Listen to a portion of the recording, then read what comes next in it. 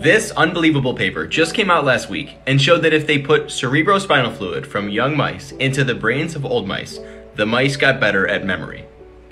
Cerebrospinal fluid, or CSF, is the juice that surrounds and fills the brain. We all have it. It's mostly there to provide nutrients, clear waste, and cushion the brain from damage. They transplanted CSF from 10 week old mice into 20 month old mice, which is like putting CSF from a 20 year old human into a 70 year old human. And they found that it improved a form of long term memory in the aged mice.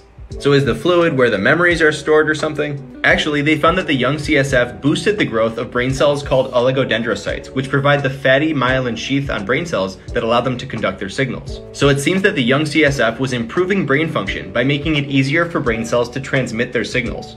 They found that it specifically acted on a protein called FGF17, which steadily decreases in the brain as we age. And if they just activated FGF17 with no young cerebrospinal fluid, it had the same effect on memory. The scientists are here at Stanford with me, and I actually spoke to the first author, Tal, about this. She wants the world to know that this research was intended to understand aging and the role of CSF. She does not have a master plan to harvest CSF from young people and put it into old people.